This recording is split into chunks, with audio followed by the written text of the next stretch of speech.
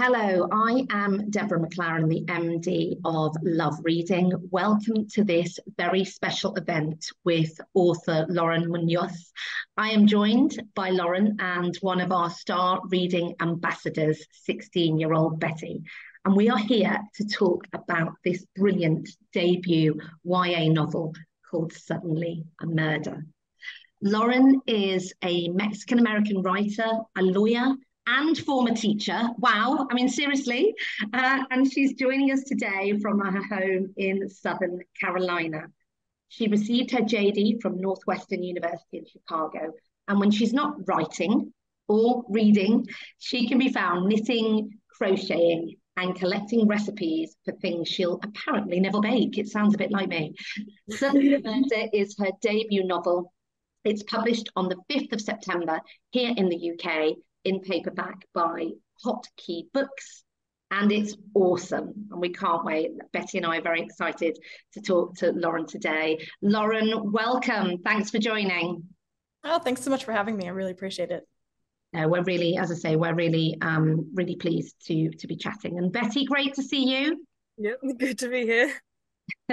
so let's get into this book. Let's talk about it. It is set in a, a glamorous art deco manor and our reviewer joanne owen called it a twisty contemporary murder mystery which sizzles with intrigue as the dark secrets of this privileged group of high schoolers all come to light. I read it on holiday a couple of weeks ago and i read it in one sitting. It's a read in one sitting feast it's an absolute page turner um, huge congrats on the book. We, I, as I say, we all really loved it. I'm going to hand over to Betty now, as I know she has lots of great questions. Over to um, you. So I absolutely adored this book, and I read quite a few murder mysteries. So for me, um, one of the things that I loved was how surprised I was every single step of the way. There was like a there was a plot twist, and it wasn't. It was really well done. So just congratulations. oh, thank um, you and it has been compared to the film Knives Out because of how twisty and turny and how many plot twists there are. Um, so I suppose my first question is how would you describe your own book to people you meet? Yeah. So I think that you know, one of the things I like about the Knives Out comparison is that, and I think the reason that people maybe compare it um, is that they're both sort of from the same source material. Um, they're both sort of from inspired by the golden age of detective fiction, uh, especially British, you know, crime fiction. You know, books that were written in the 1920s, 1930s. Uh, Agatha Christie is the most, you know, famous one, but there were actually tons of them. And, you know, this this group of authors really created the country house murder plot. Um, and that is sort of the you know plot that knives out has is the plot that you know i took here. And it's just it's my absolute favorite.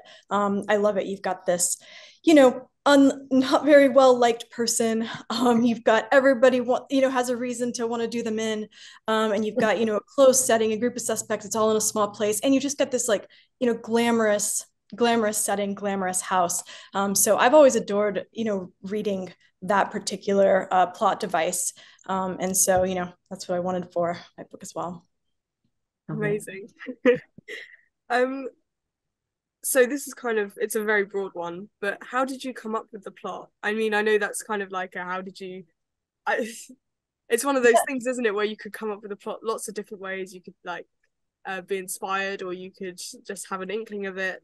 Um, and did you know from the beginning who was going to kill Blaine? Yeah, so you know it it's I was actually doing a big reread of Agatha Christie. It was actually a re-listen. Um, you know, there's an actor. His name's Hugh Fraser. Um, I think he plays Captain Hastings in some of the, you know, one of the um, uh, Agatha Christie's uh, TV series. Um, but he does these, you know, the Audible books. He reads them, and I was just re-listening to all of them, and I was like, you know, I just I've always loved these. I love these so much. Um, I was like, it would just be so amazing. I just wish that I could wrap this into something contemporary, um, you know, something that was not a throwback, not historical, um, you know, but with sort of, you know, contemporary uh, teens. And, you know, I, I ran through a couple of sort of ideas about how I would do that, murder mystery party, that sort of thing. And I landed on this one because I, I actually just, I loved like I love dressing up. Um, when I was younger, um, I still do.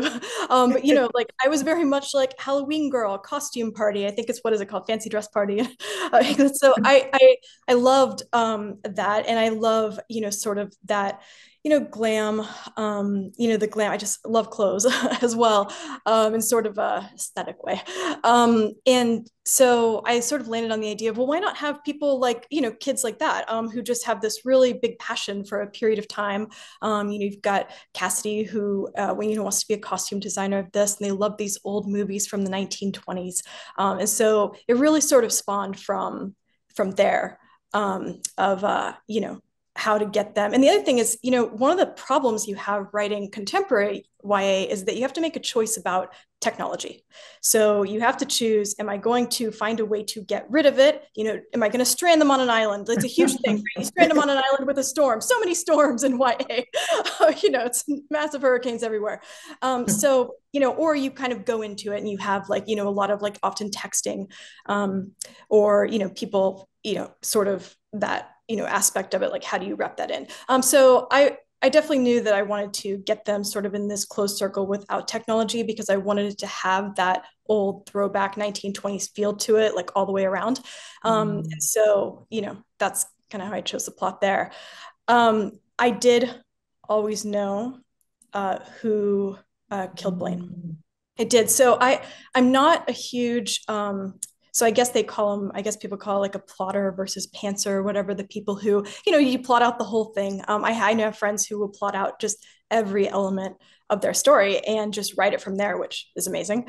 Um, and then there's people who just sort of like, you know, start from the beginning. I think it was, you know, Ray Bradbury, who's really famous for just sitting down at a typewriter and just being like, oh, here, I write from, you know, feeling, which is also amazing. Like, so I can't really, I, I'm not really either of those, but um, I do, I did want to start with knowing you know how it ended um, and that way you know i could sort of build that in as i wrote. Um, some of the motives you know developed over time but even that i had sort of an idea of you know why everybody you know might want might want him dead so i did know. I love it. Um lauren what would be great is this is probably quite a nice um time for you to you to do a bit of a reading for us if you don't mind sure I think you'll are you going to do the prologue? I am. Yeah, the prologue. Yeah. Great. Thank you. Okay. The knife burns cold in my trembling hand. I lock Blaine's door with a soft click so no one can follow me into his bedroom. The others are getting dressed for cocktail hour, but it would be unforgivable to take any risk now that I've come this far. The antique shower plumbing whistles and bangs as loudly as the rusty boiler in Marin Academy's basement.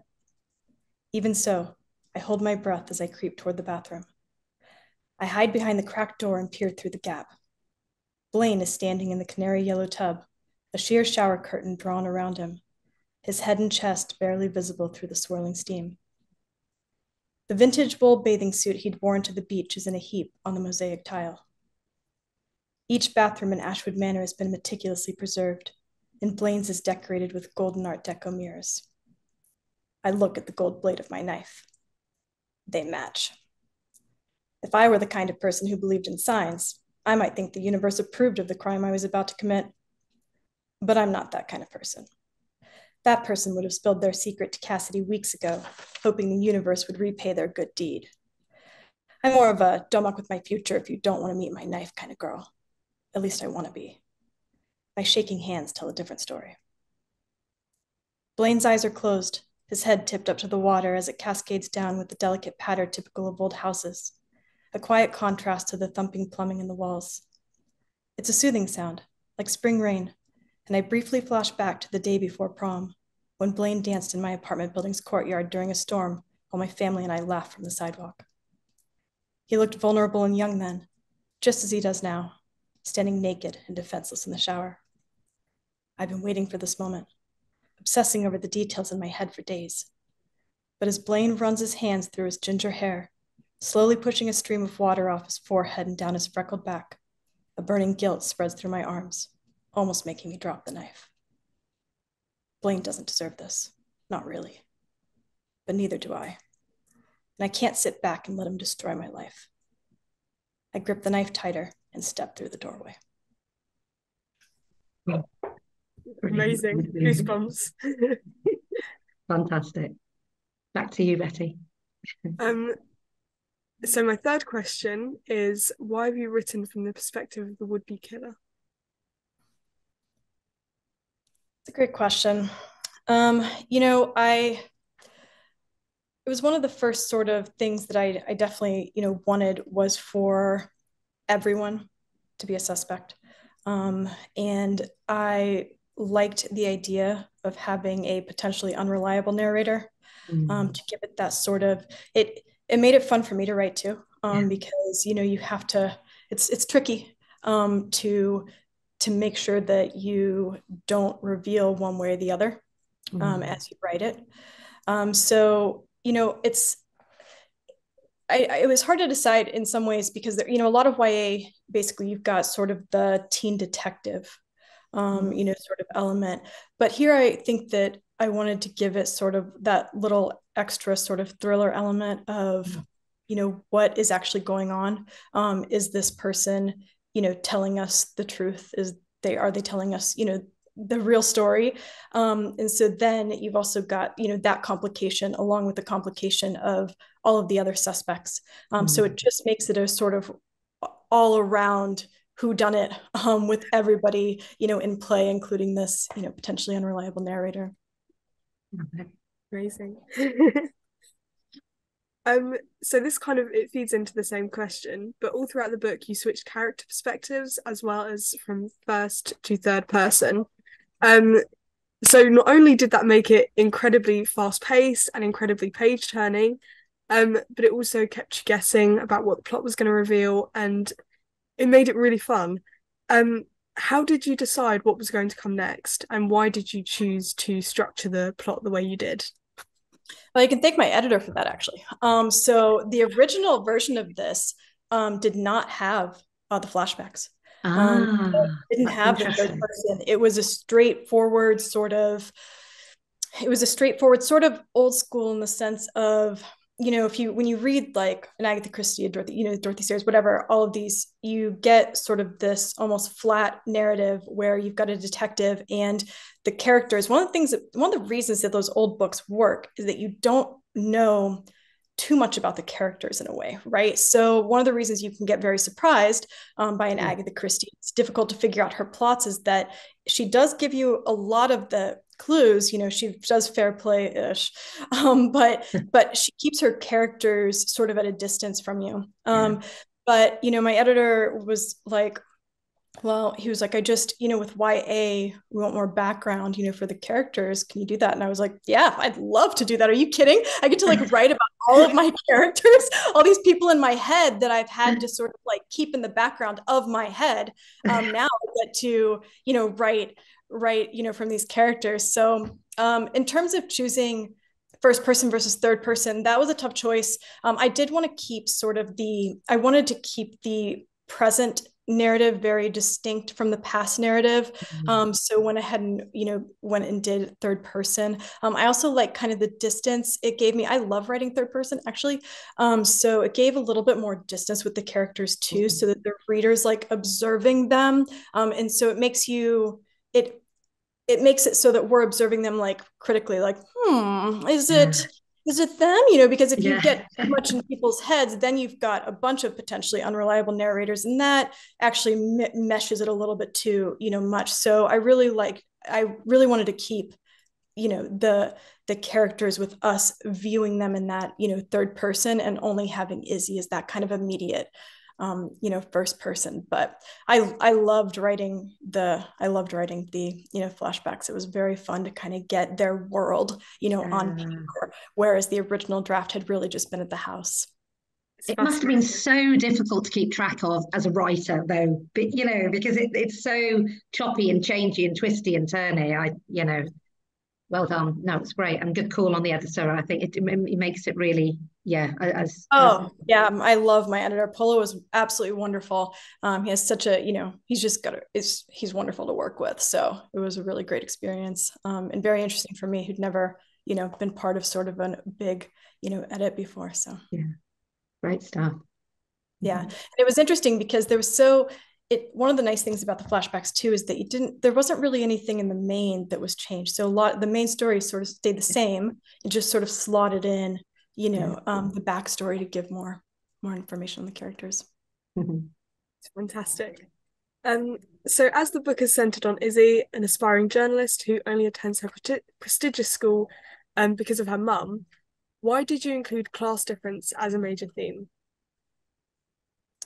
yeah. Um, so, you know, one of the one of the interesting things about so I love Poirot, you know, Agatha Christie's mm-hmm. detective. Yeah. Um, and one of the interesting things about him that, you know, I didn't know for a long time. It wasn't really until some of the, I didn't really think about it. You know, it wasn't really my focus, you know, of reading it when I was quite young. Um, and then as I got older, um, you know, I sort of started noticing it. But she she casts him as the sort of a, a Belgian refugee. Um, you know, he's seeking refuge in England from World War mm. One, um, and one of the great things about choosing to do that is that you know he becomes very much like an outsider um, mm-hmm. in this sort of English society. Often, you know, they uh, they mistake him for a Frenchman all the time. Um, you know, they just underestimate him Mm-hmm. um, you know, all the time. And that plays out, you know, very well uh, in terms of his character because you're, you know, you've got all of the suspects. They don't suspect him basically of being extremely competent and very, you know, clever at his job. Um, so they're willing to tell him whatever and let him into their house and, you know, let him into their worlds. Um, and not only that, it allows you to kind of root for him as, you know, sort of an underdog, um, even though he's, you know, extremely clever. So I thought that it fit in really well with, I wanted Izzy to be um, underestimated. You know, I think that that was one of the other reasons that, you know, from her first person, potentially unreliable narrator, I like the idea of her being underestimated by, you know, her peers. Mm-hmm. Um, and sort of thought of uh, as lesser than, you know, not with sort of maybe, you know, of course, her, you know, best friend, um, but the sort of outside social group, you know, that's sort of on the fringes of her, you know, friendships, um, think of her just a little bit less. You know, even if they wouldn't recognize it, even if they wouldn't say it or think it to themselves, um, you know, there's always that element of you're not, you know, one of us. Mm-hmm. Um, and I needed her to have, I wanted her to have that edge. Um, and I think that that, you know, helps drive her. That's part of her personal ambition uh, for mm-hmm. why she wants to do so well in school. It's why she wants to go to such a good college. Um, you know, it really, I think, uh, you know anticipates why she kind of behaves like she does as well mm-hmm. um, this sort of chip on her shoulder outsider feeling um, so that was you know it was a it was a way to do that um, and it also just you know it there's sort of a race class dynamic there um, as well um, sort of element to it um, mm-hmm. that i mm-hmm. wanted in there uh, sort of you know that level of outsider um, and to kind of have her you know mom and her and you know her family be very you know have this sort of separation um, and mm. have these you know, reasons for why they do things um, mm. things like that so um to mark the end of high school izzy's friend cassidy arranges for their friendship group to spend a week in the island manor um, in an opulent art deco 1920s getaway so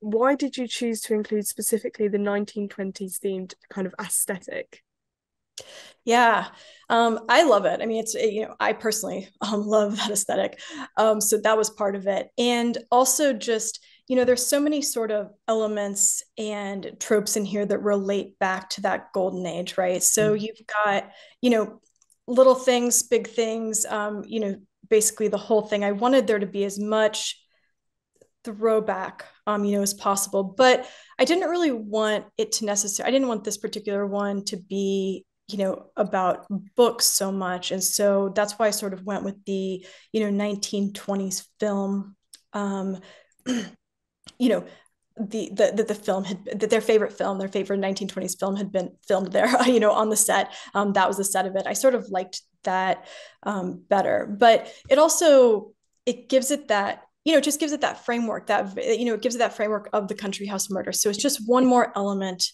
um, of sort of that throwback that I really wanted to have for this book. And I wanted it to be kind of a, you know, like a spot, spot the trope um, sort of thing for people who, you know, I think that one of the challenges, one of the things that is interesting to me um, about writing it was just that it had to work on two levels. First, it had to work for people who have never read a single book from the Golden Age ever. Um, so, you know, like it had to work for people who have never heard of the Golden Age, who have heard of Agatha Christie because she's on TV and have never read her book. But then I also wanted it to be kind of a fun moment mm-hmm. for people who have read you know those books. It can be like oh this you know i've i recognize this. I recognize this either from an adaptation um, yeah. or i recognize this from what i read. I recognize this description of clothing this description of food this thing you know paintings on the wall like any every and also just like you know tennis courts you know that go down. You know there's so many in these old books. You've got you know so many people are just like playing afternoon tennis and having cocktails on the terrace and it's just on and on and on you know the same sort of things over and over again. So i wanted there to be those moments for people who have read that um, as kind of a throwback. And also it was just so much fun for me because i love that you know aesthetic and i love those houses and all that you know clothes and stuff so you could just visualize uh, for me in my head i could just visualize every intricate detail as i read it. It really brought it to life because you chose that 1920s theme i thought it was great. It was so it was much fun to read. It's yeah, excellent. Totally. yeah, totally. um so this is again quite a broad question but how did you decide on the personality of your characters? Yeah you know it's you know, it's kind of it's kind of weird actually. It's in this, I know it's, it's just it's weird because it sounds silly. It sounds silly to me, um, but it is kind of also true. They kind of just can't. They just sort of seem like they were. It's a, it's a non it's a non answer almost. And I, I I know that I just they kind of came as they were, um, you know, to me, and they just sort of built in my head as they talked. In terms of that, and those are sort of for the side characters. For the main mm-hmm. characters what I really wanted was, you know, a strong core friendship. Mm-hmm. Um, and sort of then this sort of interesting love interest. Mm-hmm. Um, and so for Izzy, I needed, you know, I needed her to be this sort of driven and ambitious, you know, teen girl. Um, and then I thought I wanted, and the, but even even Cassidy just sort of you know came from being the kind of i wanted them to have sort of be different you know i wanted them to be a little bit different. But even when i just thought of cassidy and just started i mean the first you know when you for, at least when i first start writing you know there are a lot of scenes a million scenes that don't make it in. And a lot of those scenes were you just banter just friendship banter um, you know between izzy and cassidy or you know banter between izzy and marlowe. Um, and so those you know those personalities just kind of develop as you write the mm-hmm. characters so for me it just sort of filled in as i wrote it. So i wish i had a better answer than it came to me in my head.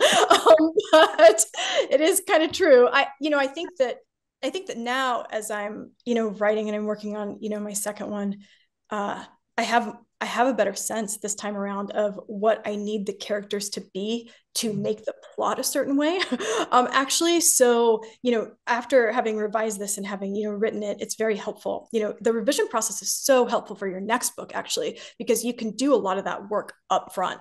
Um, so now that you know I'm moving on to another project, I think that my characters are not so much coming to me as I am deciding what I need them to be. Um, but mm-hmm. this one, you know maybe because you just also when you write these first books you don't expect anybody to read them. Like you don't you just you write them and you expect they'll get rejected and then you move on to something you know so like you're writing it and it's, it's fun that way because you're writing it for yourself in a lot yeah. of ways. Yeah. um so for me these are just you know the characters that you know i wanted to write with and that came to my head so. Love it. Amazing. Um so do you think you'll write another novel with the same characters or do you think you'll revisit those characters again I'd love to. I'd love to. I love I, I would love to, partly because I actually I love Pilar so much. Um, the detective. She is so much fun mm. to write. Um, yeah. and I just, you know, I have, you know, you have these ideas. I already have these ideas of, you know, Izzy in Mexico, Marlowe coming to visit, another crime happening on the campus, Pilar de Leon. Um, so, you know, I've got it. Um, but you know, um, as in as in all things, it depends on whether anybody wants a second book. Um, you know, so we you hope, we you hope you hope that enough people do where uh, your team also wants it. Um, but yeah, so I would certainly love that um, because you know I've already got an idea of how that would go. Um, but yeah, we'll see. I guess I hope. Brilliant. Perfect. Um, so obviously this is your debut novel, which is amazing. Um, what was your path to publication like? Um, yeah, a bit twisty. Um, so actually, I, I, gosh, how long ago did I start writing? I mean, I've been writing, I've been writing since I've been young. I was wondering if I had my, I don't think I have it. I, I started, you know, when I was in elementary school, I was already sort of writing stories. I was definitely the girl who like told her friends stories on the bus off of papers. Um, so you know, like I did that, and then for a long time, I just didn't really have it in mind. You know, for a long time, I didn't really write anything. Um, and then I think I got when I was in law school, I started thinking about it again. Um, and so then after law school was over and I started working, I started working on this first sort of manuscript um, and sent it around. And I wrote a couple and sent them around. You know, they got full, they got some full requests, some interest, but I wasn't really there yet. You know, um, and for a couple of reasons. Partly, I just didn't know what the market was, so mm-hmm. I wasn't really, you know, back that was, gosh, I don't know, ten or fifteen years ago. So back then, there wasn't sort of this like online bookstagram you know literary twitter you know sort of mm-hmm. giving you an indication of you know what you know how you needed to approach it so i hadn't mm-hmm. thought in terms of you know i hadn't really i hadn't really thought about the market very much so i wrote a couple manuscripts and then i had to i was kind of I, I moved cities um, and got another job, um, another legal job, and it was very intense. Uh, and so I didn't have really any time. So for years, I didn't write anything. Um, and then I left that job and went to a different one that was less intense. And then I thought, I was like, you know, I just, I really love this. I've really missed it. Um, so I started writing again. And it was another couple manuscripts, um, different ones. I didn't, this is the first YA mystery I've actually written. Um, the other ones were like sci-fi and fantasy. Mm. just sort of randomly writing whatever I wanted. Some of them were middle grade. Um, so yeah, and then I, you know, had got this idea, and it was summer of 2020.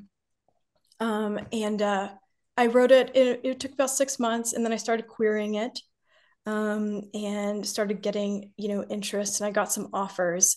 Um, and then I got an offer um, from Jodi Reamer, who's my agent now, um, a few months, you know, later, and I accepted. And then uh, we did a little bit of revising, not much. Um, there was just a little bit, and she sent it out, and it was only on sub for like a week or two. It was it was pretty fast turnaround. Um, and uh, then I, you know, went chose my editor, and and that was that. And that was maybe yeah it was it was a couple years ago that's the that's the wild part is that you know you i wrote this in 2020 and now it's you know finally just mm. you know coming out so it's a it's a long very very long process um so i would say that you know it was stops and starts um, while I sort of wrote for myself and wrote for fun and then wrote for attempted publication and finally got one through. Yay. Can we just talk? I mean, this is categorized as, as as YA, isn't it? It's a young adult book, and I've got a bit of a, a bee in my bonnet about this because I now read loads of children's books. I read loads of YA, but I don't think historically I really knew what YA was, you know. And I think I may have discounted books because they were YA. But I think it's so important to say this book is for ev- is for everyone. You know, I know on our Love Reading for Kids site we categorize it as, as 13 plus YA. On Love Reading, it is there under the YA category, but it is such a page turner. It's particularly good for people who don't see themselves as readers, people who don't want to read lengthy tomes, grapple with classics. It's so accessible, it's so readable and it's fiction that you won't want to put down. So what made you decide on on YA? Yeah, so I you know I part I, it was because when I started wanting to write, I was reading tons of YA. Yeah. Um, so you know, I was reading. It was the it was the time of t- Twilight and Divergent. You know, yeah. sort of YA dystopia fantasies. Um, and I just you know just devoured them. Um, this was probably my early twenties. Um, and so I, you know, very, it's very much of a, you want to write what you're reading um, at yeah. the time. And I never yeah. sort of let it go for, you know, for several reasons. First of all, so I was a teacher. Um, before I went to law school, I taught high school and I taught uh, bilingual elementary school. Um, so, you know, partly I wanted to write for that age group, for the mm-hmm. age group I had taught. Um, and I, you know, it's interesting you say about the, you know, fast pace, you know, readers that, you know, non-traditional readers and stuff, because that was the kind of book that, you know, I mean, I really loved that kind of book growing up. I loved the page turners, you know, growing yeah. up, sort of those point horror or thrillers, you know, Caroline B. Cooney thrillers. They there's, you know, that style was something that I just, you know, devoured or the Nancy Drew books, that sort of thing. Um, so, you know, in terms of stylistically um, what I like and what I like to write. Um, young adult is really where it's at. Although I I agree with you, and I think one of the reasons, you know, one of the, it's you know the marketing term is crossover appeal. Um, but I think that you know I think there are two things. First, you know the when they do studies, the average age of YA readers is 35. Um, so YA is more like a it's it's it's very much more like a genre than it is a target age group for reading. Yeah. Um, you yeah. know, and I think that what it you know it's and it's an interesting one to write in because you really are you know you're trying to make it accessible for teen readers um, yeah. you know that's your target but at the same time you understand that a lot of your readers are going to be adults um, yeah. and so yeah. you know you're writing something that you know you think that lots of people is going to have a broad appeal um, broad appeal and you know this is just the kind of book that you know i i would really like reading myself and would have liked reading as a teen um, absolutely so, and I'm a lot older than that. And I absolutely loved it. So I do. I just, yeah. as a, you know, there's, I think there's work to be done in in in getting these books into the hands of of everyone because I just think they have such. Yeah, I. I completely agree, and I, I, I do think that sometimes people do think, oh well, I don't, I'm not, I don't need, you know, I want to read that. That's why, or something like that. Um, yeah. and I do think they're, you know, kind of missing out on a lot of fun, um, fun so books. much fun, so much fun. Lauren, thank you so much for joining us today. Um, thank you for talking to us. We, you might have guessed, we we love the book. um, Betty, thank you for your questions. Thank you so much. it's been a real pleasure. The time has gone so quickly. Um, everyone go and buy Suddenly a Murder. You can get it on Love Reading or Love Reading for Kids you will get 10% off the RRP and you can donate 25% to a school close to your heart or pick it up in your library or pick it up in your school library. It's published on the 5th of September in the UK by Hot Key Books. It's highly recommended by me, by Betty, and all of us at Love Reading and Love Reading for Kids who've read it. Lauren, thank you. Thank you for writing this book and thank you for joining us.